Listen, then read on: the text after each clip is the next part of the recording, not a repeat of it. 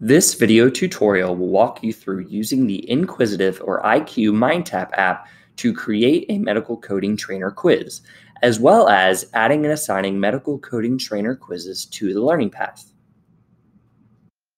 To get started, ensure that you locate your MindTap course on your instructor dashboard page. Find your course and click on the hyperlink. Your course will open in a new tab.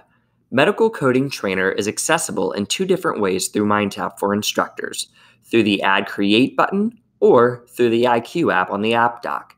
For this tutorial, I will click on the IQ app. To create a quiz, click on New Quiz.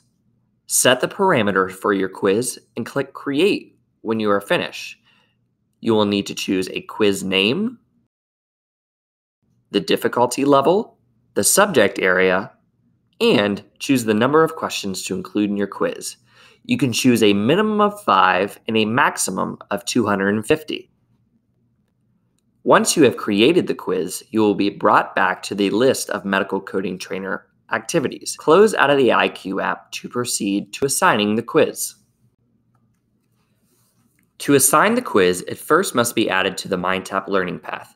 To do this, click on the Add Create button and then click Add Activity. Click on Inquisitive Assessments in the Activities list.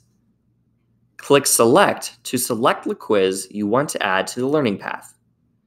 Now you must set your grading parameters for the quiz. You can edit the activity name and description. Gradable, choose whether the quiz is graded or ungraded. For max score, enter the maximum score possible on the quiz.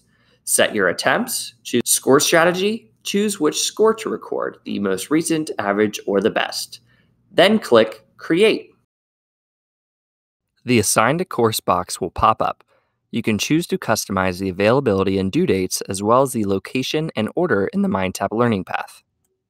Click Add, and you will have successfully placed your medical coding trainer quiz in the MindTap learning path. Thank you for completing this video tutorial for Medical Coding Trainer. For additional help or resources, please visit our training and support sites or join the higher ed community to engage with your peers.